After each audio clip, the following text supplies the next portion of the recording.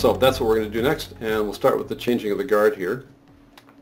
Uh, this is an easy thing for the Roto brush tool to do because the Roto brush tool works like the quick selection tool inside Photoshop. It looks for the edges of something. And the edges can be defined by color differences, by contrast differences, brightness, that kind of stuff.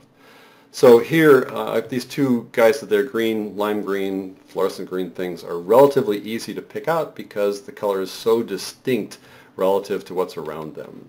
So to do this, I'm going to make a new comp. I'm going to go to my assets here. I've got the changing of the guard here. I'm going to drag that down to the new comp icon like so. And to work with the Roto brush tool, again, because we're working with a, a, paint, a paint tool, we just work in the layer panel, double click on this to open the layer panel. Now, you can go to the paint workspace, which has the composition panel next to the layer panel so you can see how your work is going, which is fine. I kind of like the bigger view here for me, but I could do that as well. And I could just make it myself. I could take this panel, which is the composition panel, and drag it out of this frame by drag, just clicking up here on the name, just pulling it out like that, when I get a little trapezoid like that to the left, that means it's going to make a new frame and sit there by itself. So that's another way to do this, just say no, hmm, just say no. But we do work in the layer panel here. So I'm going to take this guy and put him back in here by just dragging this to the left. When I have a rectangle in the middle, it puts it inside the same frame. And I want to go back to the layer panel. So I'm going to drag you to the left, make sure my tabs are in the right order. There you go. I like that order, like composition layer. It's more comfortable. And I want to uh, highlight these guys. So I'm going to zoom in on them to see them a little bit better. Hold on the Z key and zoom in on them. And with the uh, Roto brush selected, I have this little green circle. That's my brush.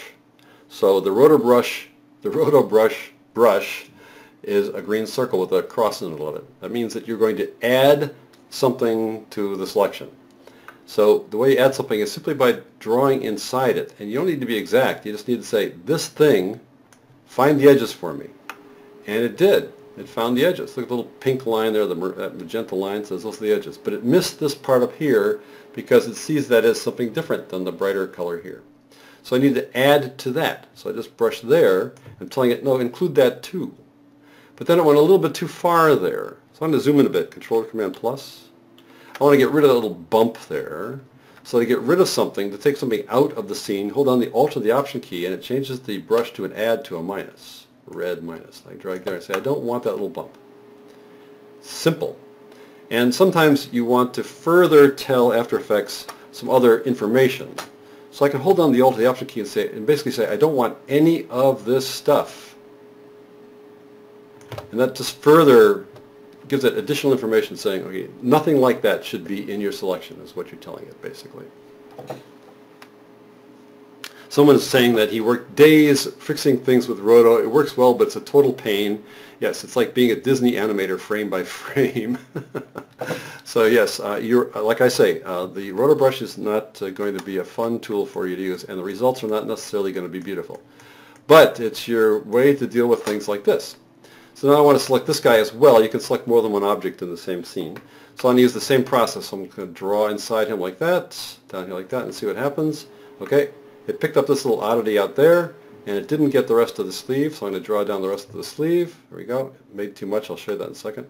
I want to get the rest of the arm here. The brush is too big, I think, so I'll hold on the controller command and drag left to make it smaller, and drag down here to add the arm. All right, so now we've got a pretty good selection, but we don't want that bump there. Hold, on, hold down the Alt or the Option key and drag to get rid of the bump. Right? Hold on the Alt or the Option key to get rid of that odd thing. Who knows how that happened. And then this person's white, whatever that is there, hold on the Alt or the Option key to get rid of that. And now we have a pretty good selection. That little thing there, I'll live with it, right? Because we're going to be zoomed way out anyways. All right, so now we have this base, um, this base frame.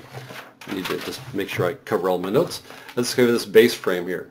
And uh, if I pull back, shift forward slash, there they are. You can barely see them in your monitor. Two little maroon things are on those two guys. All right. And then when you do that, up here in the layer panel, right down here, you'll see a little orange box. That's the base frame. And then to the right of it will be 20 frames that After Effects has already uh, attempted to uh, figure out uh, how that selection is going to work using some predictions. If you go up to, you know in the Effect Controls panel, you, you now have a Roto brush and refine edge effect. And under the Roto brush side of things, there's something called Roto brush propagation. And this basically says the rules of the propagation, which are way difficult to understand. Uh, but I, I, uh, if you want to get into the fine details of the Roto brush, be my guest. The help file, uh, or the help, the part of the help file that comes with After Effects does go into detail about each of those little points there, and you can certainly check into them. But for what we're doing here, most times you just go with the defaults. And that's what we're going to do here. And down below here, there's a refined edge, which we haven't done yet, and we're not going to do in this particular case.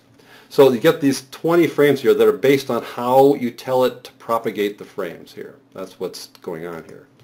And what you can do is you, if you think that, that After Effects is going to get it, I can go forward here, and it's going to now start going through those frames one at a time. A little green line is showing up here as it's going through and looking at those frames. And when it gets to the current time indicator, it'll show me its results.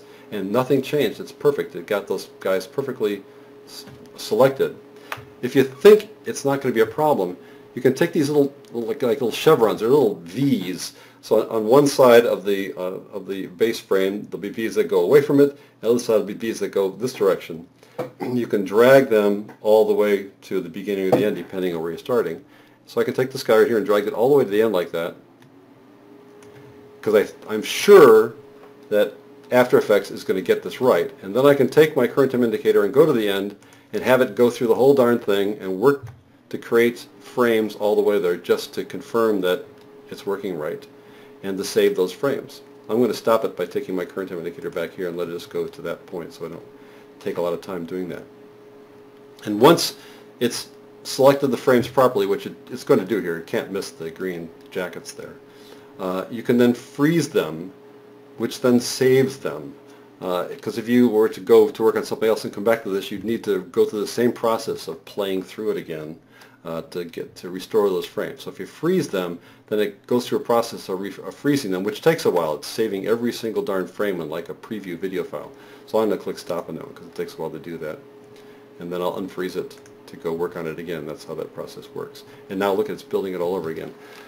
So this is the basic process to, uh, to use Roto brush on something that's really easy to select and how you can take those little those little angled things, those little brackets and drag them one way or the other to create the Roto brush for the whole thing. And once you've done that, you can then play it pretty easily and you have now removed those guys from the background. So I go back to the composition panel, there'll be these two things sitting there all by themselves over a, uh, a transparent background.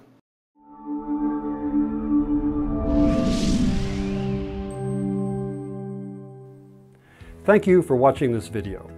My name is Jeff Sengstack, an Adobe Certified Expert and the lead instructor here at BlueFX.net. If you want to watch this entire video lesson, as well as other live classes and After Effects crash courses, then I invite you to check out the BlueFX After Effects Academy. Just click the link below this video to find out what we've prepared for you in the After Effects Academy.